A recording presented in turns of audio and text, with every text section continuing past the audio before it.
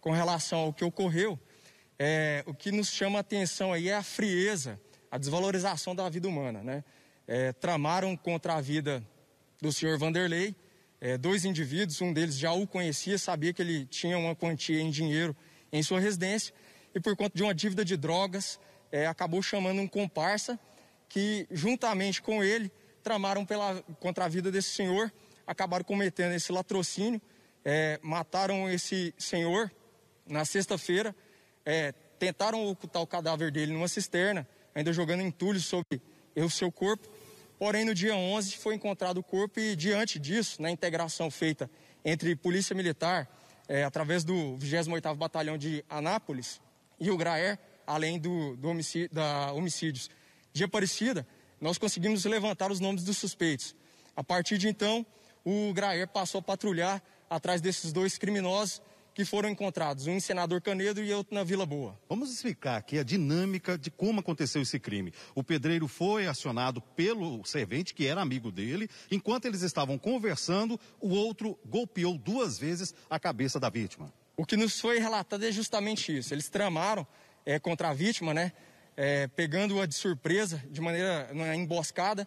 É, o, o primeiro criminoso, usando desse ardil dessa situação onde já era conhecido a vítima, acabou tramando contra ele, chamando, e esse segundo criminoso usou da expertise ali do momento em que ele estava vulnerável para golpear na sua cabeça é, com a barra de ferro vindo levar ele a óbito. Capitão, eles levaram ali no momento o celular da vítima, 700 reais, e a aliança que estava dentro da carteira. Essa aliança, inclusive, foi comercializada no centro de Goiânia.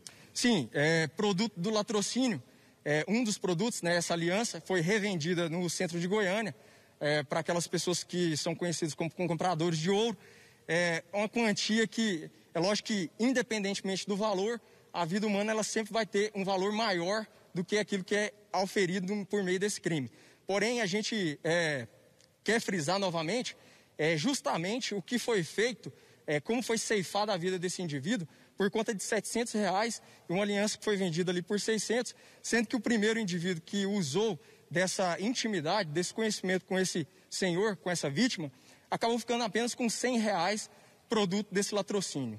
Capitão, muito obrigado pela participação aqui no nosso programa. Parabéns a você, juntamente com o pessoal da Polícia Civil, porque inclusive eu assisti, Fred, a, o vídeo que eles gravaram, né, conversando aí com esses dois suspeitos, e eles são de uma covardia tremenda. Né? Eu queria até que o senhor frisasse para a gente aqui qual foi a sensação que o senhor, o senhor teve de conversar com esses dois assassinos e eles mostrando aquela frieza toda. Sem sombra de dúvidas, não deixa de mexer conosco, né?